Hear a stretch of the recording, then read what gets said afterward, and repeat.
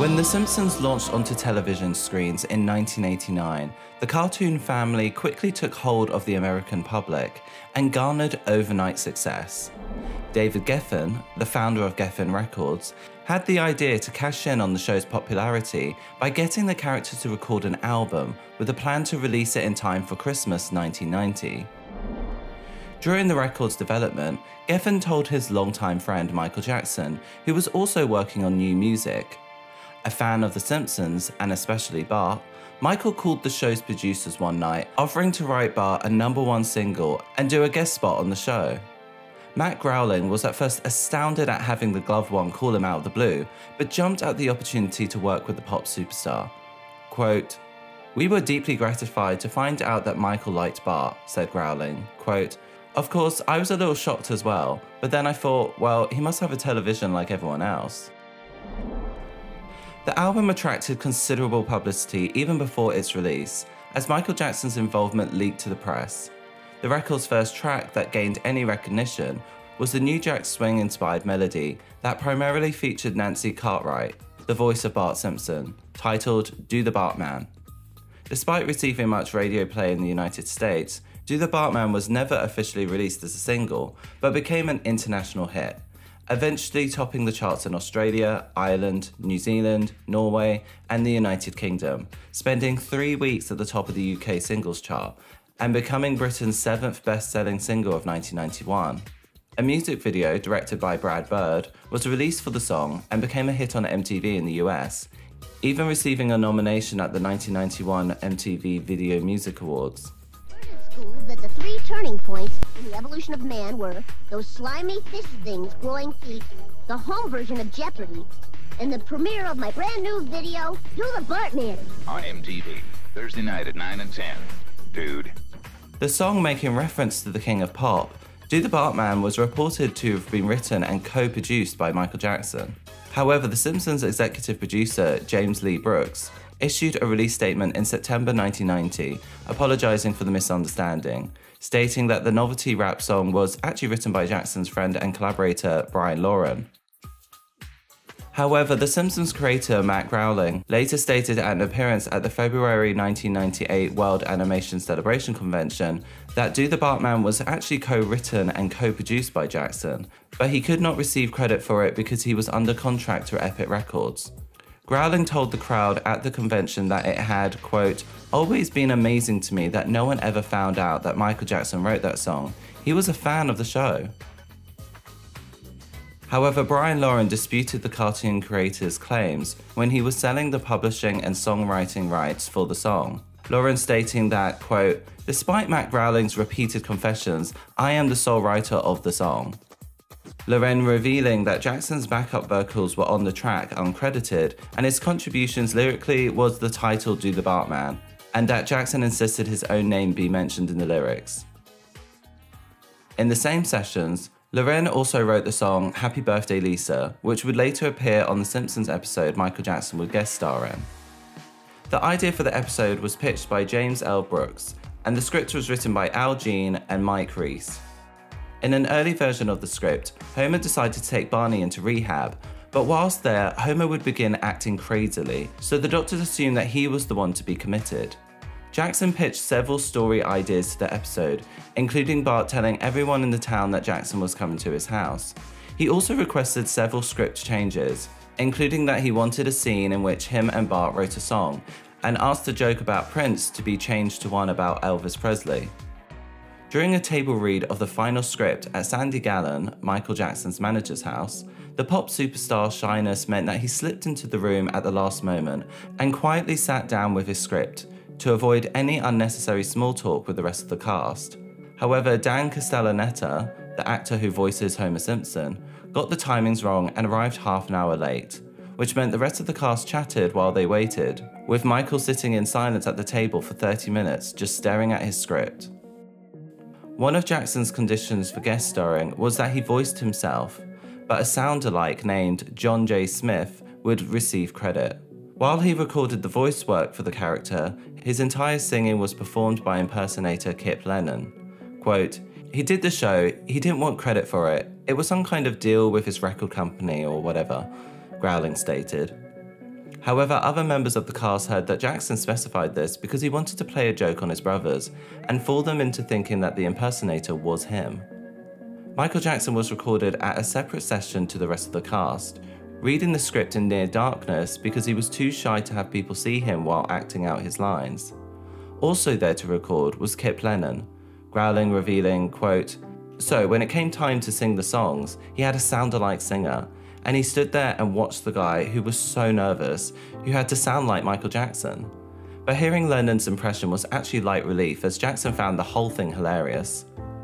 Michael actually did record versions of the songs, and while there have been rumours that those tracks were the ones used in the final episode, the show's music editor, Chris Ledesma, confirmed the Lennon versions were used. The episode Stark Raving Dad debuted on September 19, 1991, and is the first episode of The Simpsons' third season. Although originally the creators had plans to broadcast the episode as season 2's finale, before production overran. The episode focuses on Homer Simpson, whose white shirt turns pink in the wash after mixing with Bart's red cap. Facing ridicule at work for wearing pink, Homer catches the attention of his boss, Mr. Burns. Burns orders Homer to be examined by Dr. Marvin Monroe, and rather than filling out the psychological test himself, Homer lets Bart rush through it, ticking all the boxes. As a result, Homer is deemed insane and committed to a mental institution where he meets a man claiming to be Michael Jackson. On Lisa's birthday, Michael calls to inform Bart about Homer's predicament, as Marge manages to convince the institution that Homer is not really crazy. Homer invites Michael home, leading to chaos and disappointment when crowds realize that he's not the real Michael Jackson. In the commotion, Bart forgets to buy Lisa a present, leading to her feeling crushed. Michael convinces Bart to make it up to Lisa with a song. They compose Happy Birthday Lisa and performed it for her, resolving the conflict. Michael then reveals his real identity as Leon Kompowski, a bricklayer from Paterson, New Jersey, who imitated Michael Jackson to find happiness. The show ends with Leon leaving singing Lisa's birthday song in his normal voice. The tale had a simple message not to judge a book by its cover. That despite Leon Kompowski's hard exterior, he is kind and sensitive. He explained in his backstory that he used to always be angry, but after he learned to talk in a nice way, he realized that he could make people happy and so he decided to be a nice person. The episode is also a commentary on those in society who go against the status quo, wearing a pink shirt, for example, and therefore are often ridiculed, if not punished or banished to institutions. Bart and the rest of Springfield's rejection of Kompowski when they realize it isn't the real Michael Jackson demonstrates the influence the person's fame has on others and how it dehumanizes that Bart is only interested in the status from others he could garner having Michael Jackson to stay, rather than seeing his guest as a person like anyone else. Despite the megastar acting in the season's debut, the producers of the show were legally prevented from confirming this at the time. Matt Groening appearing on The Jay Leno Show not openly revealing that it was Jackson, although he hinted strongly. Yeah. Was that really Michael? Can we find out? Uh, uh, legally, I can't say. There's some stars that are so big you just can't say oh, whether or not it's so them. It's a so you'll have to guess. Read between the lines. Yeah. Okay, well, that's kidding. Considering Michael's musical connections with The Simpsons, many outlets presumed it was the singer voicing the character. As why would the show creators center a whole season debut around a celebrity when they are just being voiced by an impersonator? The episode even participating in this back and forth, as characters speculate and deny Michael Jackson when the character is in fact voiced by the real thing. Because of complications promoting appearances like this, the producers decided that if a celebrity wished to guest star on the show, then they had to be willing to be credited under their real name and not a pseudonym. It wasn't until the episode Itchy and Scratchy the movie that a more open clue was given to viewers when Lisa mentions that Dustin Hoffman and Jackson made cameo appearances in the movie. And you wouldn't believe the celebrities who did cameos Dustin Hoffman, Michael Jackson. Of course, they didn't use their real names, but you could tell it was them. Dustin Hoffman, of course, voicing Mr. Bergstrom in the episode Lisa's Substitute, and his guest appearance was similarly shrouded. Today he might be wearing gym shorts. Tomorrow he's speaking French or, or, or pretending to know how to run a bandsaw or God knows what. Despite these difficulties, the episode was well received and one of the biggest celebrity guest appearances The Simpsons have ever had. There was even briefly talk of a sequel to the episode, which would have seen Leon return to Springfield, only this time believing that he was musician Prince. However, Prince objected to the script when presented to him, and the episode was ultimately scrapped. As part of the initial collaboration, Bart and other Simpsons characters would appear in Michael Jackson's much anticipated music video, Black or White, which was released in November of 1991. Bookending the video epic with Bart Simpson introducing the track, and then at the end we see Bart dancing to the song while watching it on television. Chill out, homeboy. Embodying the same kid rebellion and family annoyance Michael Jackson's close friend, Macaulay Culkin, and George Wendt represented in the video's beginning. Over the years and throughout the show's long run, Michael Jackson would be referenced several times. For example, he is mentioned in Bart Sells His Soul, Soul? Come on, Milhouse. There is no such thing as a soul. It's just something they made up to scare kids, like the Boogeyman or Michael Jackson. Episodes like season 28's Mr. Lisa's Opus features a cameo of Leon, who is again voiced by Kipp Lennon, and reveals new verses to Happy Birthday Lisa.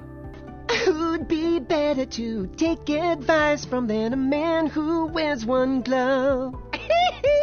However, critics reflected on the original episode and argued whether it aged poorly due to the portrayals of mental illness and the plot development of Bart being forced to share a bedroom with a fully grown man the family barely knows, considering Jackson's own history.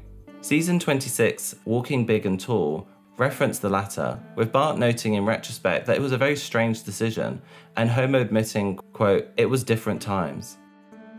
Following the release of the documentary Leaving Neverland, that provided details about Jackson's behaviour and alleged allegations, many media outlets called for a re evaluation of Michael Jackson's current presence in pop culture and a ban to be placed on his music and other works.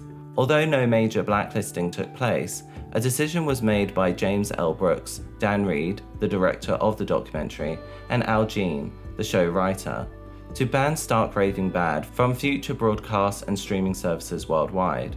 Enraging many Jackson and Simpsons fans alike, both Reed and Brooks said that they were not in favour of book banning. Brooks stating, This is our book, and we're allowed to take out a chapter. Al Jean telling the Daily Beast that Jackson would have used the Simpsons cameo to capture a younger generation and quote, groom boys. When explaining why the episode wasn't pulled until after leaving Neverland, despite previous accusations, Brooks told the Wall Street Journal, the documentary gave evidence of his monstrous behaviour. Brooks acknowledged that him, Groening, and Al Jean made the decision post documentary to remove the episode in order to show compassion for Jackson's alleged victims. Quote, It feels clearly the only choice to make. As a result of the ban, the complete third season DVD was reissued where they removed the episode entirely and is the only episode of the entire series that is not available on Disney Plus. However, Stark Raving Dad was also put back into syndication just a few months later in October 2019, airing on FXX, and is still available to purchase on Google Play and YouTube.